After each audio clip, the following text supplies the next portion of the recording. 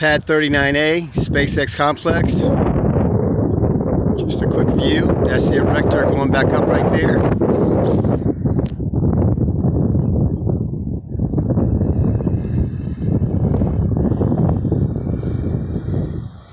And a view of the compound. This is where they came out for Axiom 1.